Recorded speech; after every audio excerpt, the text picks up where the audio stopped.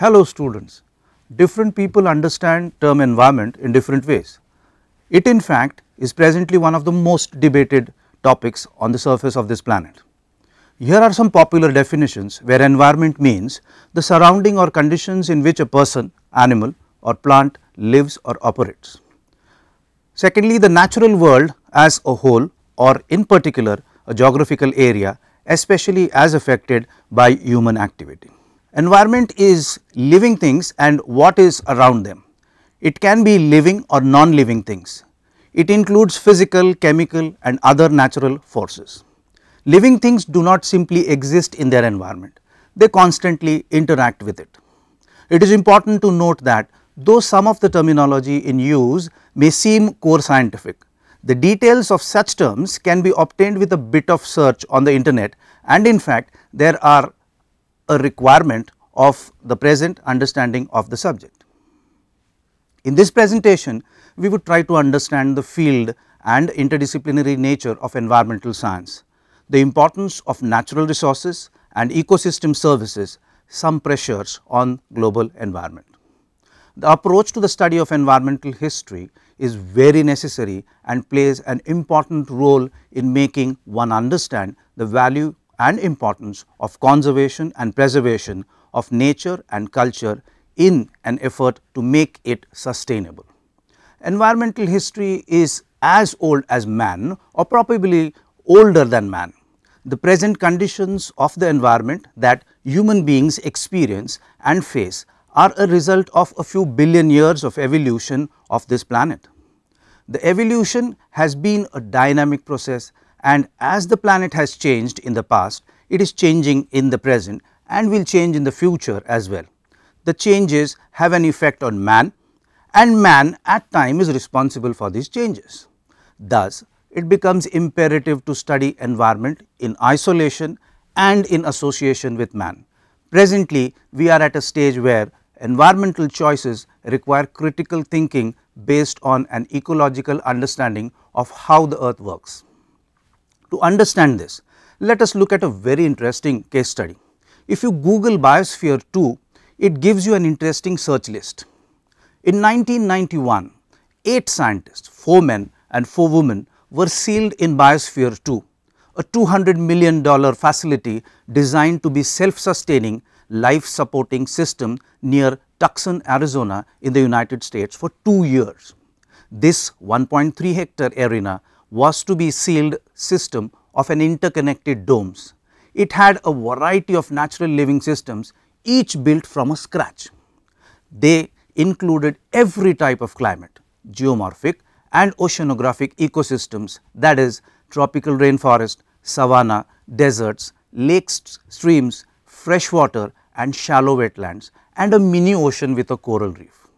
Biosphere 2 was designed to mimic the earth's natural chemical recycling systems, various nutrients and biogeochemical cycles or natural services were attempted at. The facility was stocked with more than 4000 species of organisms selected to maintain life support function. This would sound very much like Noah's ark. The energy required was provided through sunlight and external natural gas powered generators. The biospherians were supposed to be isolated for 2 years, breathe air recirculated by plants and drink water cleaned by natural recycling processes and to raise their own food using intensive organic agriculture.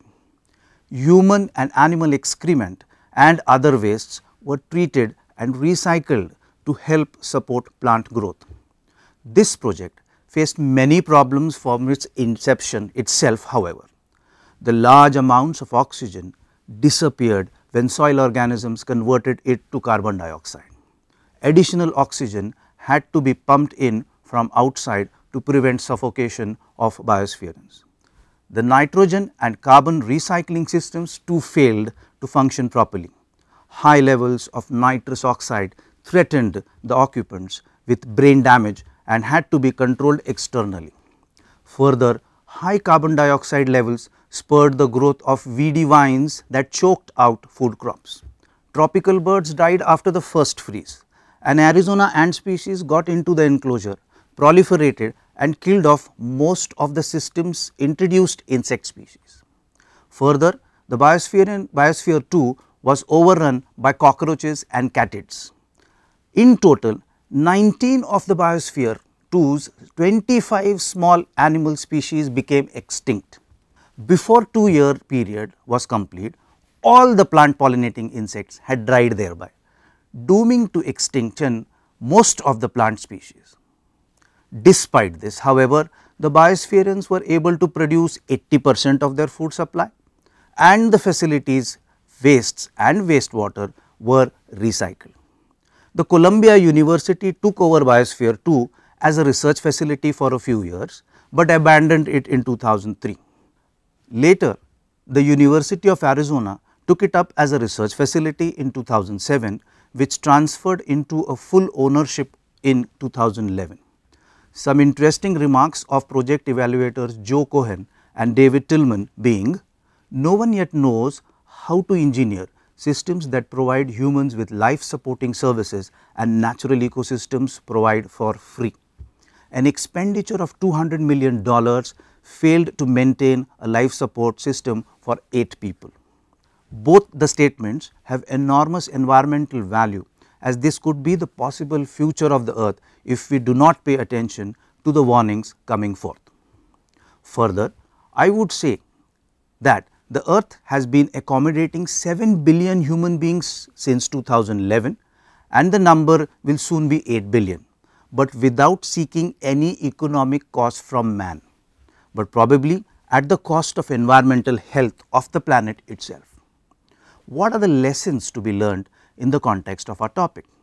The analysis of the whole project of Biosphere 2 positive or negative would be nothing but learnings of environmental science.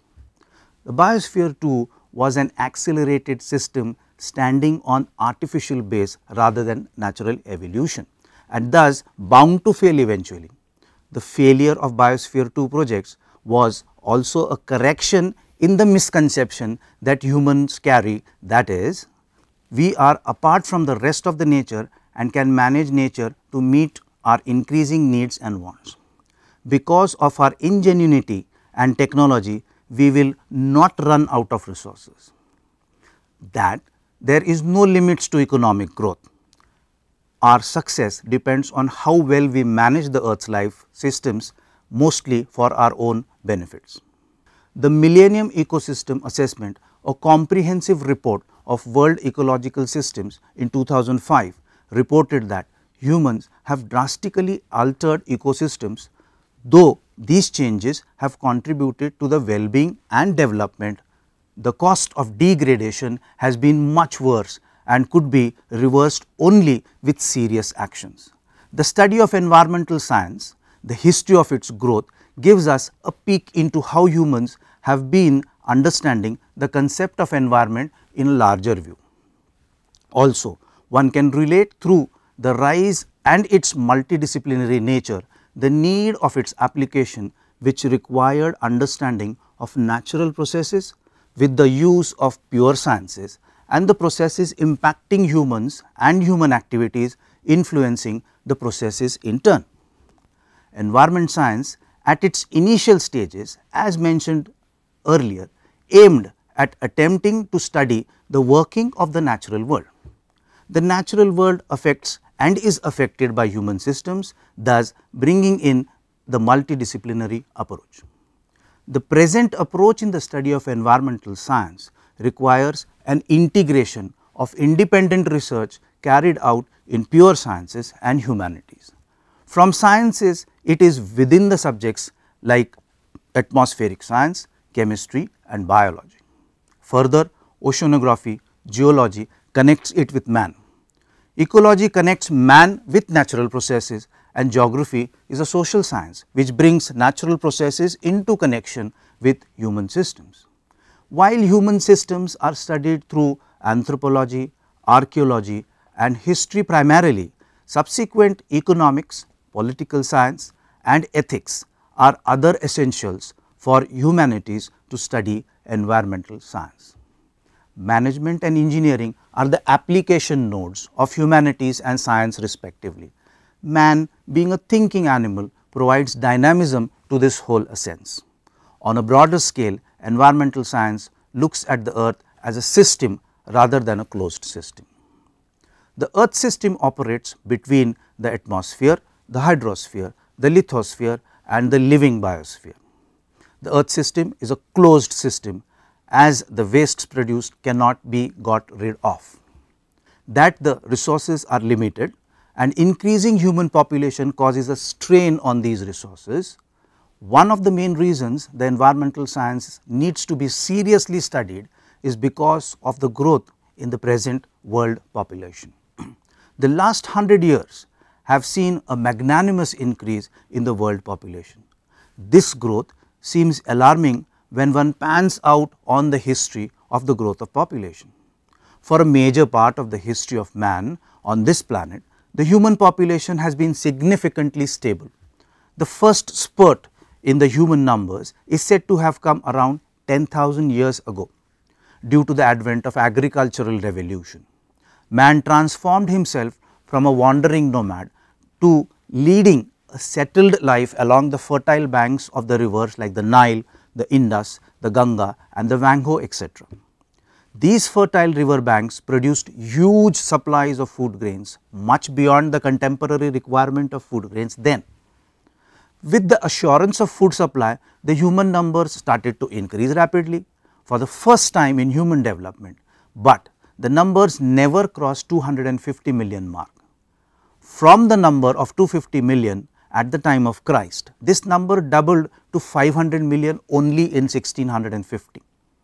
The increase however was more attributed to the fag end of this period when the industrial revolution had just about settling in the continent of Europe. The next doubling happened in the significant smaller period of the next 150 years that is 1804 AD. By this time the industrial revolution had well set in on the continent of Europe. For the first time in human history the world population was 1 billion on this planet the subsequent doubling of population has taken lesser and lesser time regularly. It was around 1925 that the world population doubled to 2 billion. It is interesting to note that not more than 100 years ago the world population was less than the combined population of India and China today.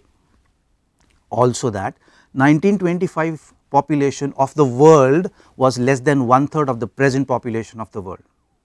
As the industrial revolution spread from the continent of Europe to the continent of North America initially and then to the other continents, the population of respective continents began to swell as well.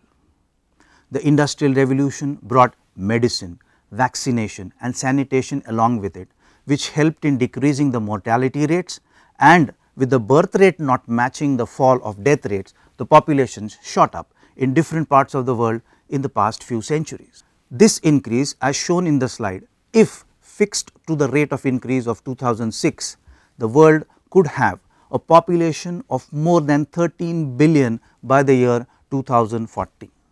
Similarly, the population pyramids from 1950 to the one projected for 2100 show huge variations. A significant increase in graying population and a notable increase in the female population on one side, while a decrease in the birth rates would bring about a complete set of new problems then. This however, is an average picture for the world. This situation could be worrisome if population pyramids get divided as per economic status of the countries around the world. In fact, poor countries could face more serious problems than reflected in this diagram. The constant increase in the population numbers since the 17th century have taken the toll of the resources on this planet. It did not take time for the world to realize that resources and growth is limited given the rate at which they are being depleted and the inability of the nature to replenish them back into the natural systems as against a popular belief that resources on the earth being inexhaustible till then humans have in fact overshot the earth's capacity to support us and we are using renewable resources 30 percent faster than they are being replenished.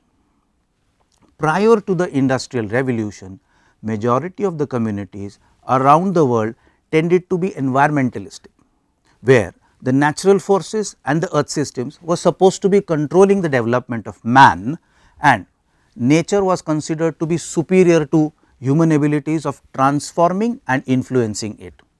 The concept of God and religion on one side and the fear of the unknown helped to keep this belief intact. The very fact that natural forces like the sun, nature and wind and other forces of nature were conceptualized like gods right from the Greek period to the modern era amongst different civilizations and religions around the world possibly meant that the fear of the unknown would have helped to keep the human exploitation of the natural resources in check. With increasing populations and subsequent demands on one side and depleting resources on the other, a new set of issues came to fore by the advent of the 20th century. Revolution indirectly brought was urbanization.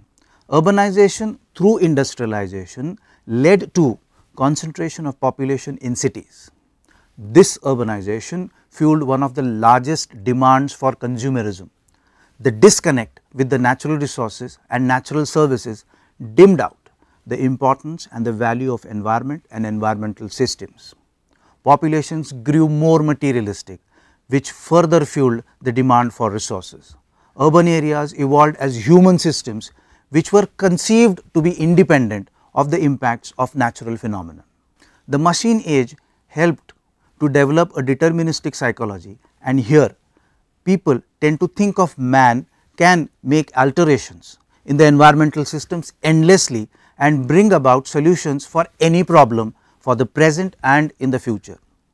The welfare governments in the developing world were busy after the second world war with making the primary amenities of food, shelter and clothing available to their populations. This was followed by the second set of issues energy and employment. Thirdly, the misconception of using economic development to bring about equity created further stress on the resources and subsequently created issues like resource crunch, resource degradation and pollution at local and global scales. Understanding these problems required the study of physical that is natural science and human that is population connections. Towards the latter half of the 20th century, the developed world in particular started to realize the problems the planet was faced with and the resultant environmental degradation. As a side effect of the industrial revolution and the subsequent development of technology which was a cause of extensive exploitation of natural resources and stressed natural systems. In conclusion, we can say that the earth being a closed system has been burdened by recent growth of population since the industrial revolution. Environmental science therefore needs to address the issue of balance between resource availability and resource distribution to help the planet to sustain. Thank you.